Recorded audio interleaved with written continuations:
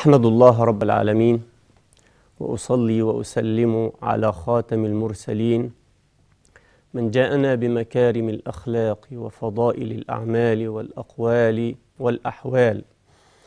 ما ترك من شيء يقربنا إلى ربنا إلا وقد دلنا عليه وما ترك من شيء يبعدنا عن الله ويقربنا من النار. إلا وقد حذرنا منه نبينا محمد صلى الله عليه وسلم. أيها الإخوة المشاهدون السلام عليكم ورحمة الله وبركاته. في هذه الحلقة نود أن نتكلم عن مشاكل أسرية تحدث في جميع البيوت. ما من بيت إلا ويعتريه مشاكل أسرية. هذه المشاكل وتلك الأزمات لنا فيها علاج عند خير البرية محمد صلى الله عليه وسلم. لأن بيت النبوة بيت محمد صلى الله عليه وسلم كان به مشاكل. هذه المشاكل لم يخلو منها بيت نبي من أنبياء الله ولا عالما ولا صالحا ولا وليا. كل البيوت تعتريها أزمات وتعتريها مشاكل أسرية حتى بيت خير البرية محمد صلى الله عليه وسلم. ولكن كيف تدار هذه الأزمات؟ كيف تحل تلك المشاكل الأسرية إذا ما أتت إلينا وتدخلت علينا في بيوتنا؟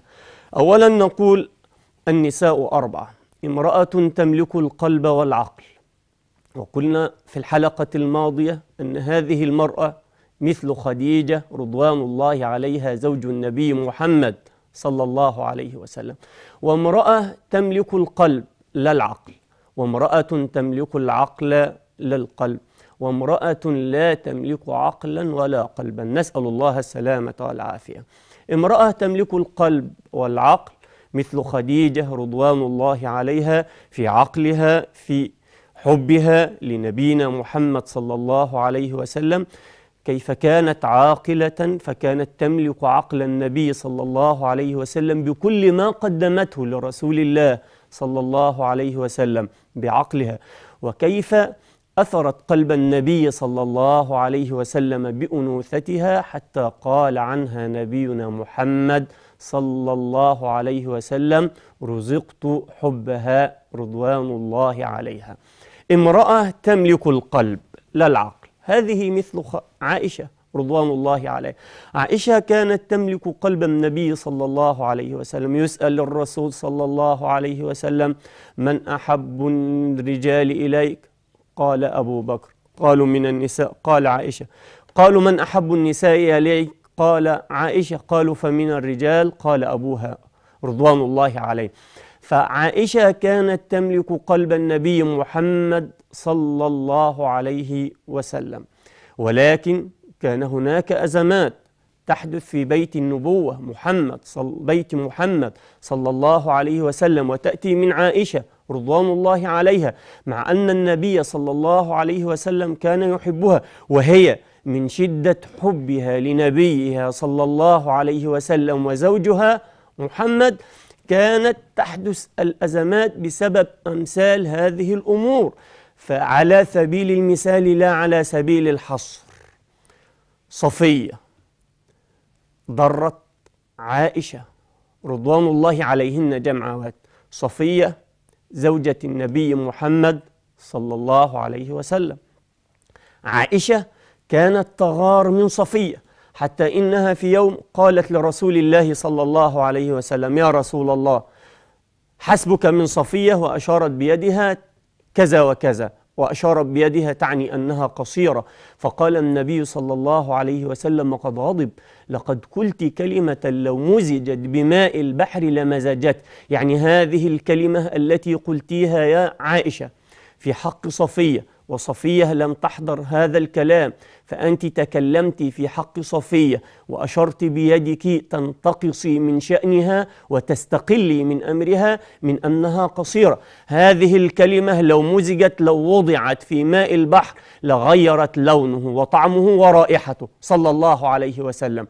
فالنبي صلى الله عليه وسلم كانت صفي كانت عائشة تغار من زوجات النبي وخاصة من صفية.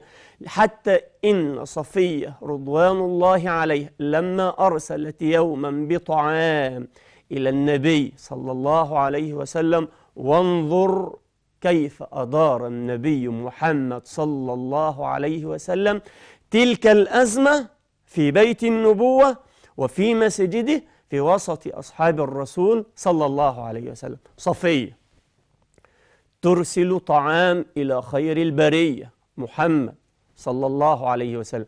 والنبي يجلس مع أصحابه في المسجد وتأتي ويجلس الرسول صلى الله عليه وسلم والأصحاب من حوله. ولك أن تتخيل الحالة الآن.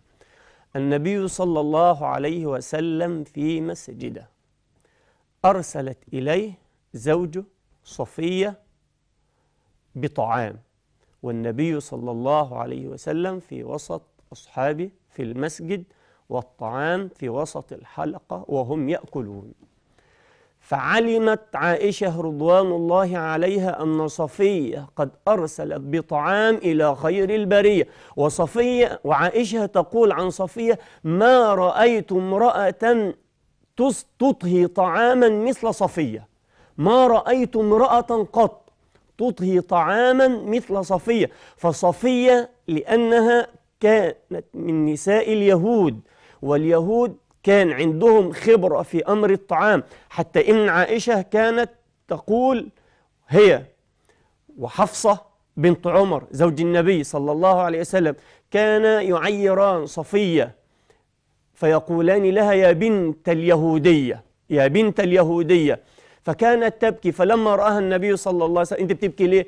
قالت له يا رسول الله إن صفي إن عائشة وحفصة يقولان لي يا بنت اليهودية فالنبي صلى الله عليه وسلم ماذا فعل؟ قال لا اضربيهم اعمل لا لا قال لا إذا قال لك ذلك مرة لو قالوا لك الكلام ده تاني مرة تانية قولي لهم أبي هارون عمي موسى زوجي محمد صلى الله عليه وسلم. من اللي يدرك هذا الشرف؟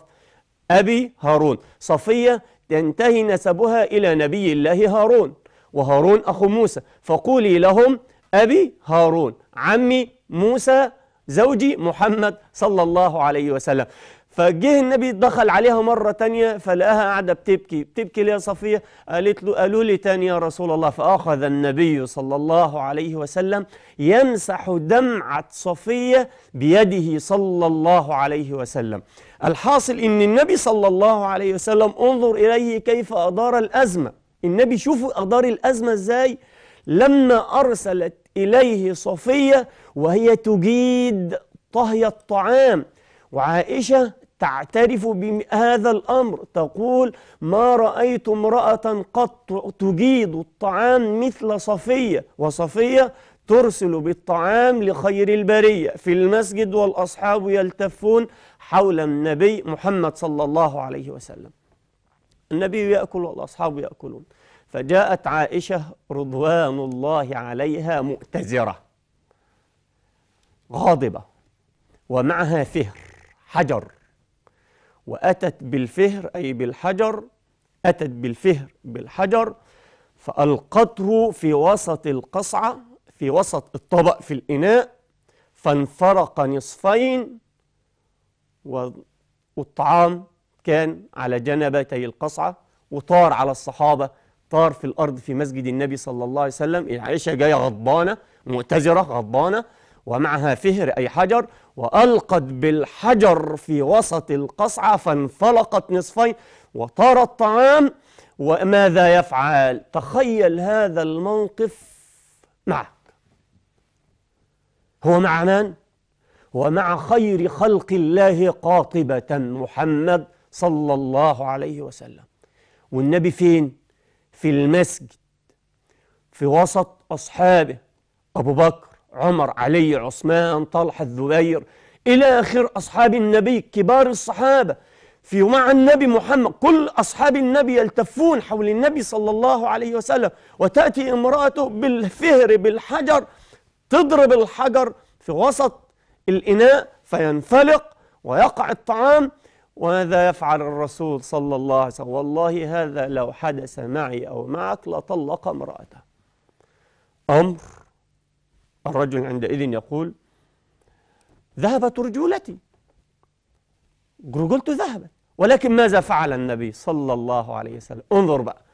كيف عالج النبي صلى الله عليه وسلم هذه الأزمة لما حدثت في عنده من امرأته من زوجه من عائشة رضوان الله عليها في وسط أصحابه رضوان الله على الجميع. ماذا فعل؟ النبي صلى الله عليه وسلم ابتسم ضحك وقال غارت أمكم غارت أمكم كلوا غارت أمكم كلوا غارت أمكم كلوا غارت أمكم. ولم يزد على ذلك صلى الله عليه وسلم. يلم الطعام ويقول لهم إيه؟ كلوا غارت أمكم كلوا غارت أمكم ما قام في عائشة. وما طلق عائشة وما ضرب عائشة وما امتدت يده على عائشة وإنما بين العلة لأصحابه رضوان الله عليهم. إيه هي إيه الدافع اللي خلى عائشة رضوان الله عليها تفعل ذلك في محضر أصحاب النبي صلى الله عليه وسلم؟ عائشة لم تتحمل. عائشة رضوان الله عليها ما تحملت أن تهدي إليه صفية في يومها طعام فيجلس النبي صلى الله عليه وسلم فيأكل من طعام قد أجيد طهيه هو وأصحابه ويعلمون أن هذا الطعام هو طعام صفية وأن عائشة لم تصنع مثل هذا الطعام فغارت عائشة رضوان الله عليه من شدة حبها ومن شدة تعلقها بالنبي محمد صلى الله عليه وسلم. وأما النبي فيعلم العلة والدافع الداخلي الذي دفع عائشة رضوان الله عليه من أجل أن تقوم فتأتي بالفهر وتأتي متزرة وهي غاضبة فتضرب الفهر فتضرب الفهر تلقي بالفهر في وسط القصعة فتنفلق نصفين ولا يزد على أن يقول قلوا غارت أمكم قلوا غارت أمكم صلى الله عليه وسلم. موقف يعالجه النبي صلى الله عليه وسلم ولكن يقول لعائشة تعالي بقى يا عائشة. أنت كسرت الإناء. الإناء ده بتاع مين؟ بتاع صفية إناء بإناء. ده مش ملكي أنا يا عائشة ده بتاع صفية إناء بإناء. فأخذ إناء عائشة رضوان الله عليها وأرسل به إلى أمنا أم المؤمنين صفية رضوان الله عليهن جمعات. وعالج النبي صلى الله عليه وسلم القضية ولم تحدث مشكلة في بيت خير البرية صلى الله عليه وسلم. على الإطلاق. لم تحدث مشكلة.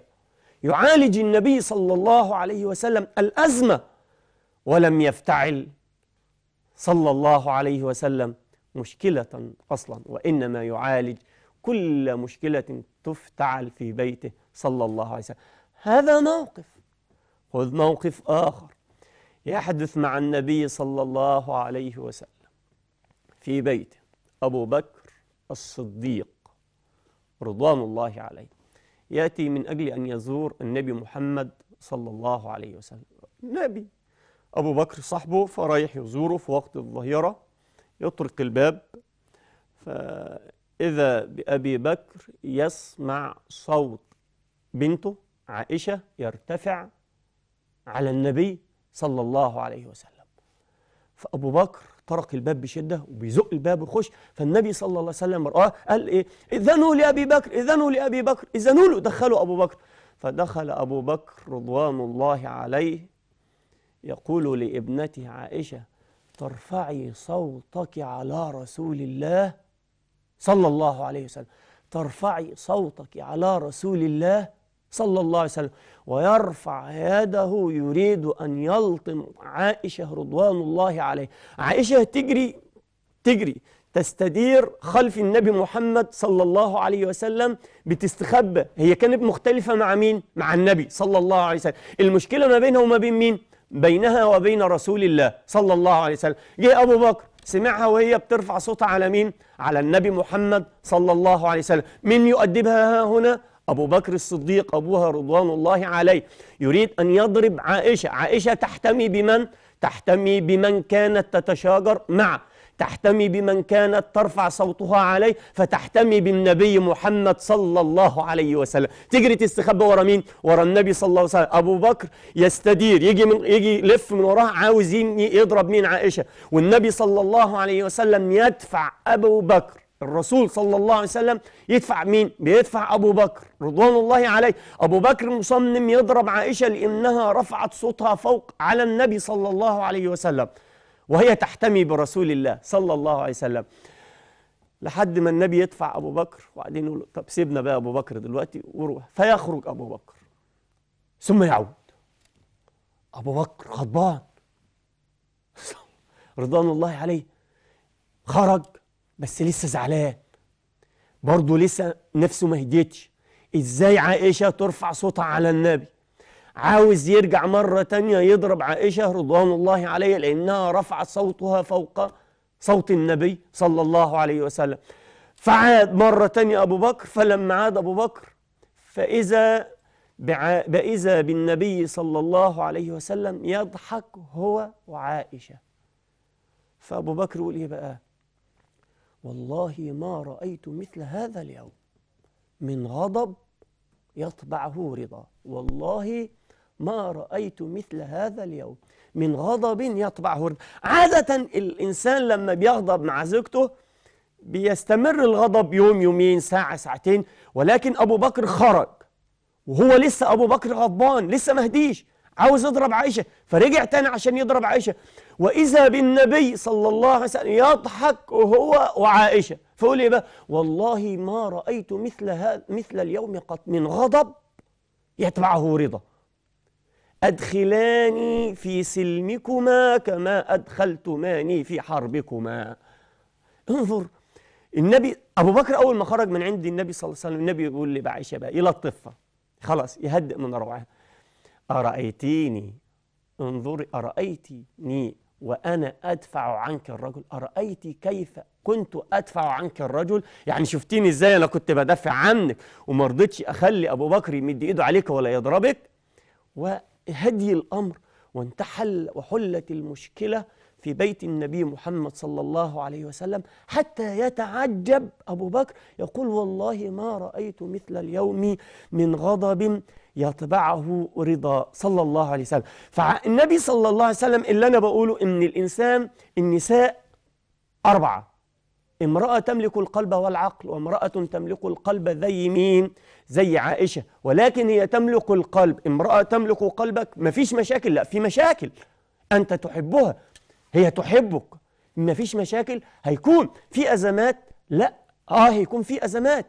يستحيل إن ما يكونش في أزمات. مع حبك لها ومع حبها لك لابد أن يكون هناك أزمات. النبي صلى الله عليه وسلم كان يحب عائشة. حتى إن عائشة رضوان الله عليها في يوم من الأيام النبي صلى الله عليه وسلم في يوم العيد جاء الحبشة يلعبون في مسجد النبي صلى الله عليه وسلم فجت عائشة من وراء النبي صلى الله عليه وسلم. بص كده من خلال ستر زي شباك. والنبي بص فجت عائشة من خلفه أسندت صدرها إلى ظهر إلى كتف النبي صلى الله عليه وسلم وضعت ذقنها على كتف النبي صلى الله عليه وسلم ومالت على الرسول. يعني هي أقصر في الطول من النبي صلى الله عليه وسلم. فهي يعني زي ما نقول إيه بتشب على رجليها فتحمل على مين؟ على النبي صلى الله عليه وسلم من أجل أن تنظر من فوق كتف النبي محمد صلى الله عليه وسلم مستند عليه وحط دقنها على كتف النبي ومحملة على الرسول صلى الله عليه وسلم وهي عمالة بتبص على الحبشة وهم يلعبون والنبي صلى الله عليه وسلم صابر. سابها شوية كده قال لها فرغت يا عائشة؟ قالت له لا يا رسول الله لسه ما خلصتش. أقول أنت خلصتي؟ أنا سايبك وبقى لي ربع ساعة. حملة عليا فوقي. وأنا سايبك بقى لي يعني ربع ساعة هو خلصت يا عائشة. أفرغت يا عائشة. قالت لا يا رسول الله ما خلصتش. لسه ما خلصتي عائشة بتقول إيه بقى؟ وإني والله قد فرغت. أنا فرغت أنا شفته خلاص واتفرجت وخلاص. وإني والله قد فرغت. ولكني أردت أن أرى مكانتي عند رسول الله. صلى الله عليه وسلم. فالنبي يقول لا فرغت يا عائشة؟ تقول له لا ما فرغتش يا رسول الله. هي خلصت بس هي عاوزة تشوف النبي صلى الله عليه وسلم هيصبر عليها ولا مش هيصبر؟ صلى الله عليه وسلم. فالنبي صلى الله عليه وسلم صابر محتسب ولا يقول لعائشة خلاص فرغت ما فرغتش؟ طب خلاص لحد ما تفرغي يا عائشة براحتك. صلى الله عليه وسلم. فكانت تعرف مكانتها عند الرسول صلى الله عليه وسلم. فهذه امرأة تملك القلب تملك العقل تملك القلب لا العقل امرأة تملك العقل والقلب. خديجة امرأة تملك القلب وهي عائشة رضوان الله عليها. معنا مكالمة؟ إسلام سوهاج. اتفضل يا أستاذ إسلام. أنا شيخ. يا أستاذ إسلام اتفضل. لو سمحت أنا عايز أسأل سؤال. حبيبي اتفضل. هو التسوع والعاشوراء هل الصيام سنة على الرسول؟ تسوع وعاشوراء آه. ماشي حبيبي. ده سؤالك؟ ماشي. هيجاوبك عليه.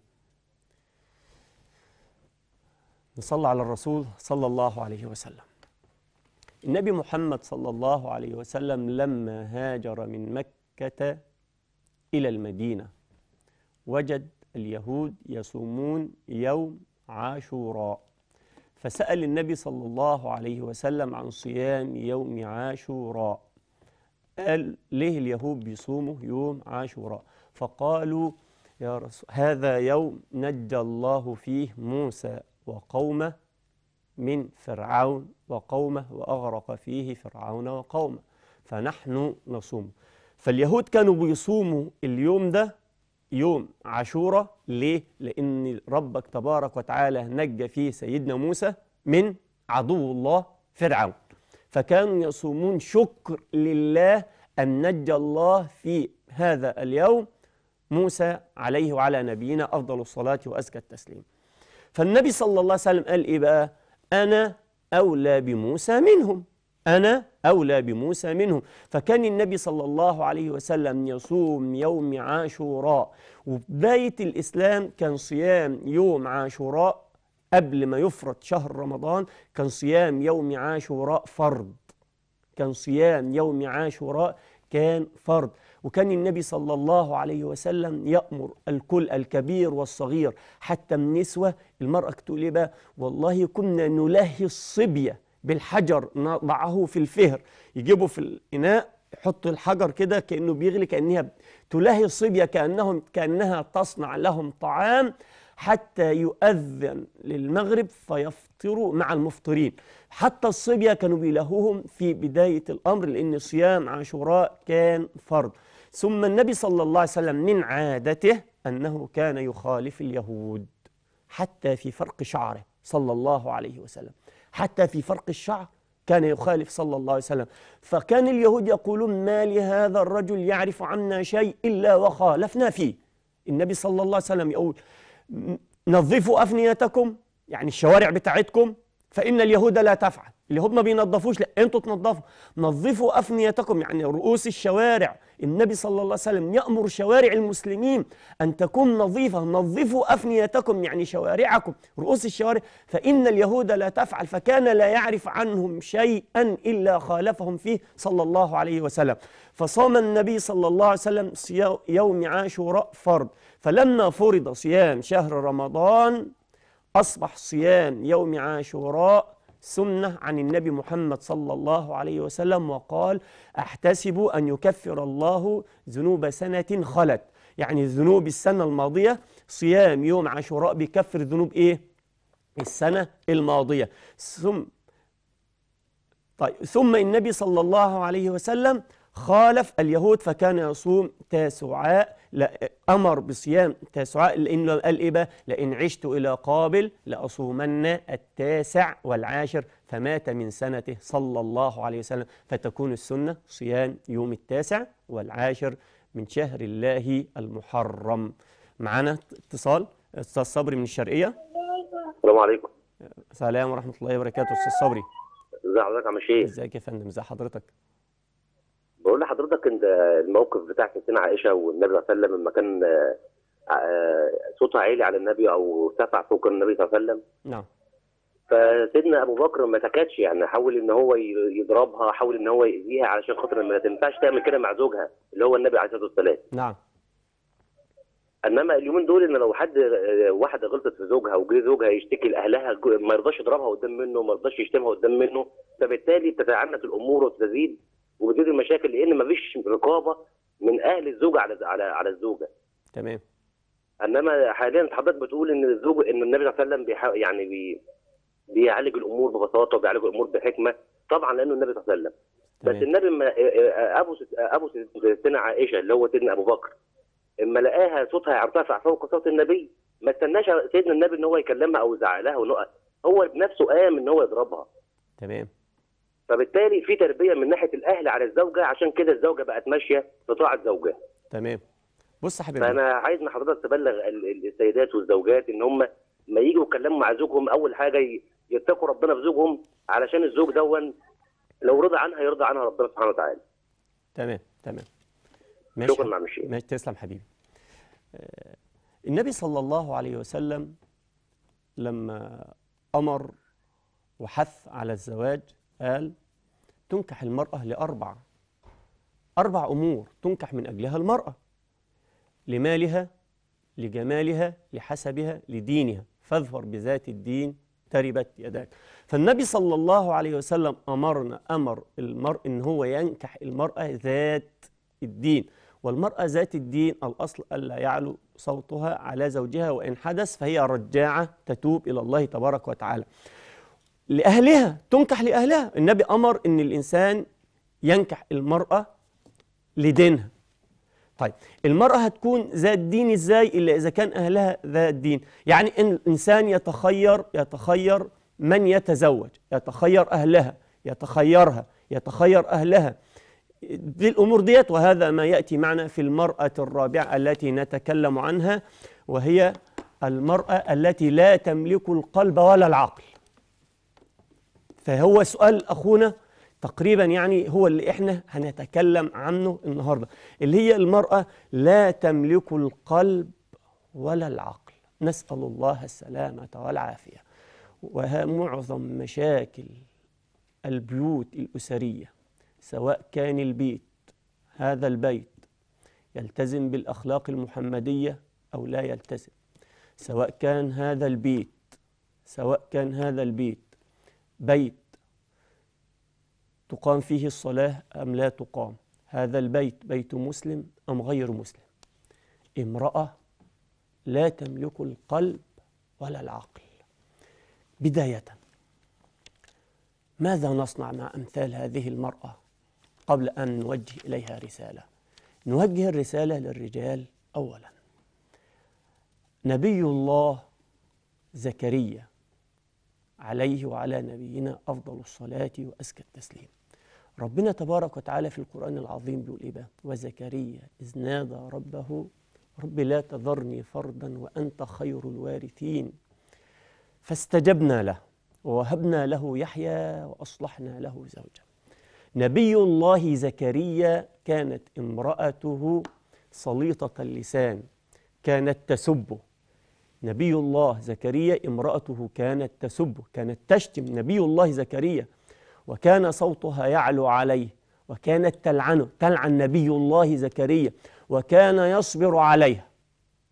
صابرا محتسب يصبر عليها حتى قال الله وأصلحنا له زوجة. في بعض العلماء بيقولوا أنه أصلح له زوجه وأنها ما كانش بتخلف وبقت تخلف ولكن القول الراجح في المسألة وإن كان الآية تحتمل هذا وذاك أن امرأة نبي الله زكريا كانت تؤذيه وكان يصبر عليها حتى أصلحها الله تبارك وتعالى. حكوا عن عبد الله ابن زيد القيرواني الذي كان يقول عنه العلماء إنه كان مالك الأصغر. عبد الله بن زيد القيرواني من علمه كان يقولون عنه إنه كان مالك الأصغر. حكوا عنه أنه كان جالس مع بعض طلابه. ودخل عليه ابنه فبره برا شديدا. فتعجب الطلاب من شدة بر الولد بأبيه. فقال لهم أتعجبون من بره؟ والله هذه لكل الرجال. والله لقد تزوجتم أمه ثلاثين عاما وما ابتسمت في وجهي قط وما قالت لي كلمة طيبة قط. شوف عبد الله بن زيد القيراني بيقول إيه بقى؟ لما شافوا ابنه بيبر قوي بيقول لهم أنتوا بتتعجبوا من بر ابني ده؟ أنا تزوجت أمه 30 سنة.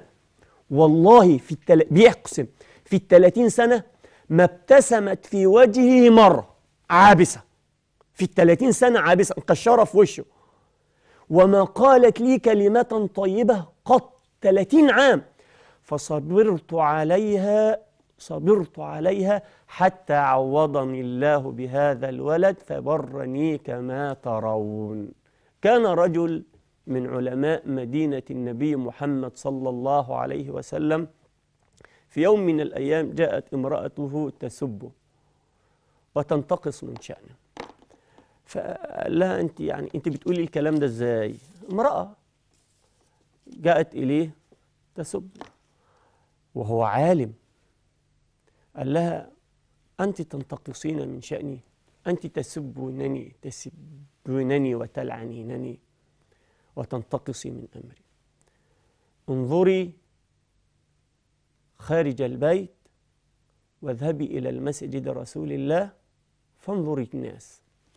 المرأة ذهبت إلى المسجد النبي صلى الله عليه وسلم فوجدت المسجد يضج بما فيه امتلأ عن بكرة أبيه والكل قد أسغى بأذنيه وكأن على رؤوسهم الطير الكل في سكون وفي أدب وفي خشوع في حضرة مسجد النبي محمد صلى الله عليه وسلم وهذا العالم يلقي درسه على هذا الجمع الكبير من الناس والكل يقدره ويحترمه.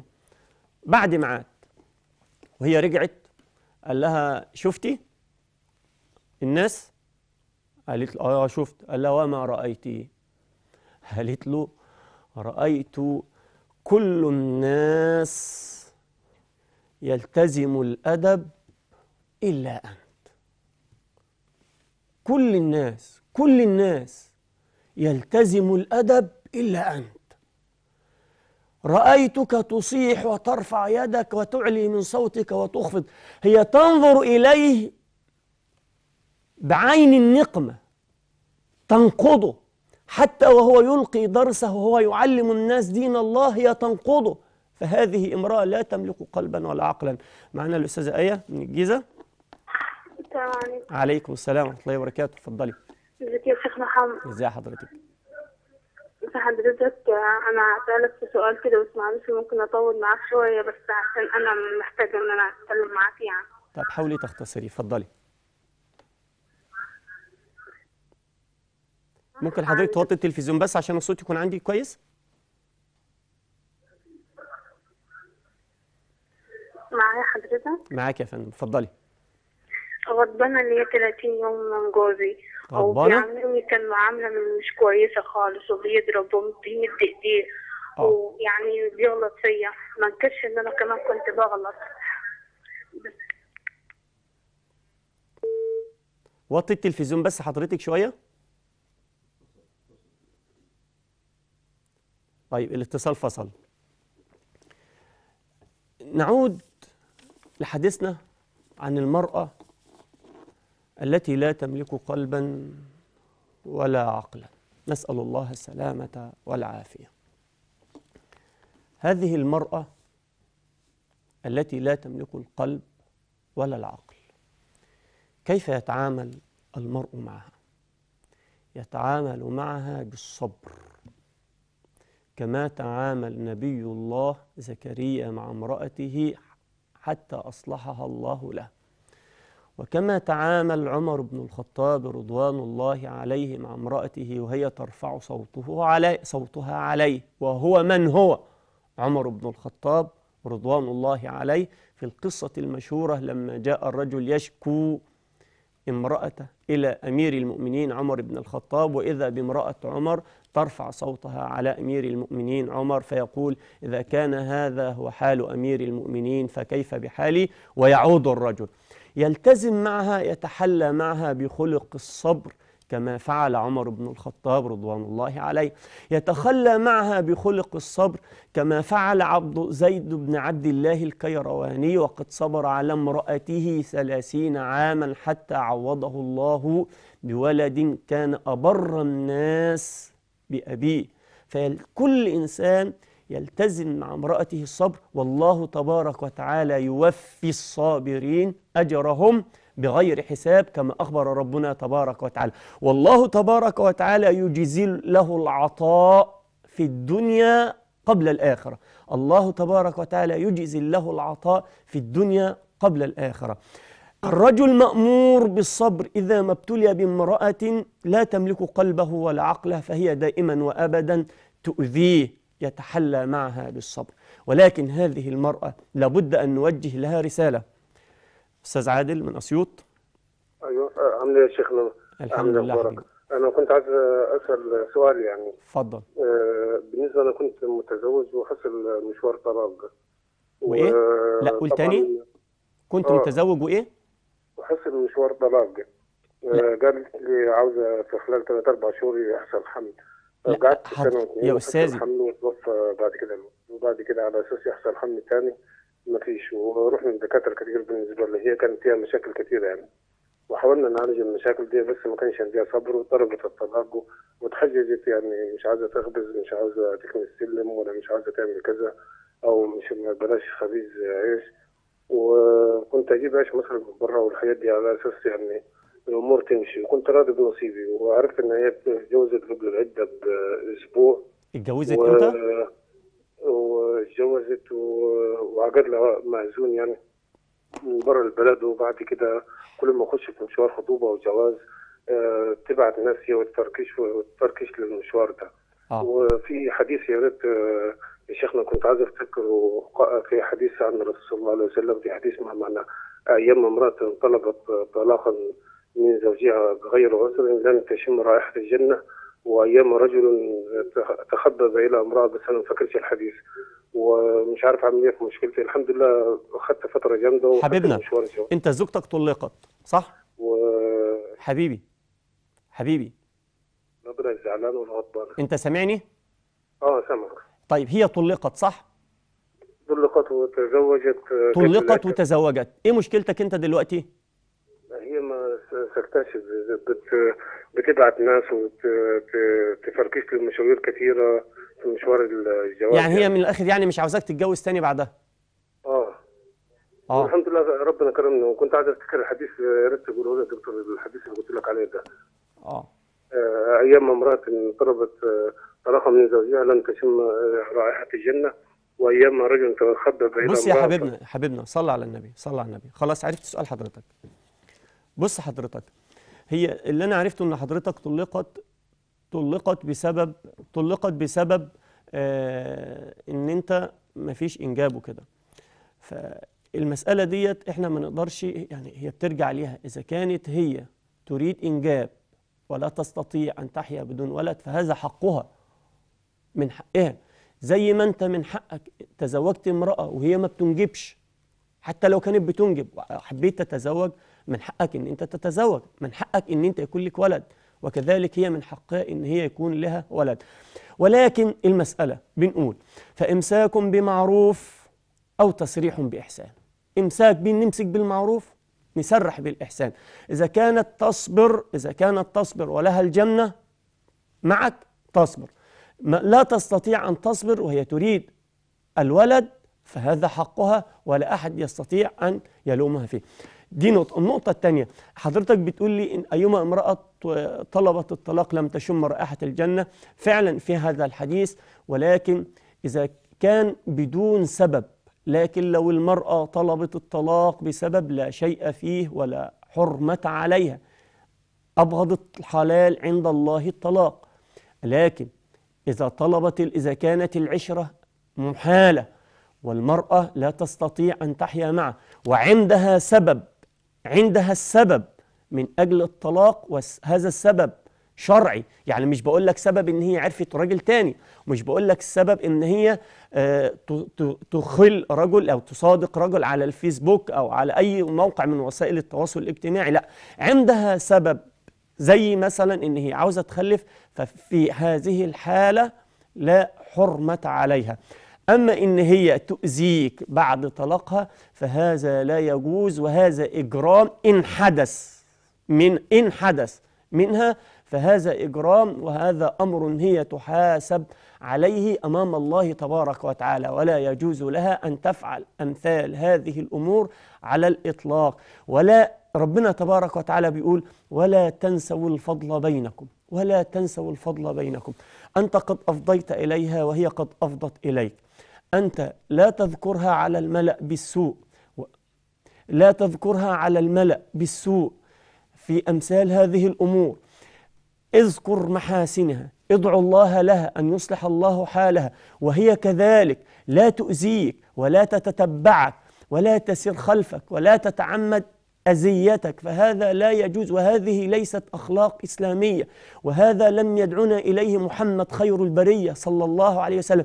وإنما هذه الأفعال أفعال المجرمين وأفعال السحرة وأفعال المشعوذين الذين يخربون بيوت المسلمين. المرأة إذا ما صارت خلف السحرة والمشعوذين تخرب بيتها بنفسها وتخرب بيت زوجها ويأتي خراب البيوت من أمثال هذه الأمور. وهذه رسالة نوجهها للنساء جميعا.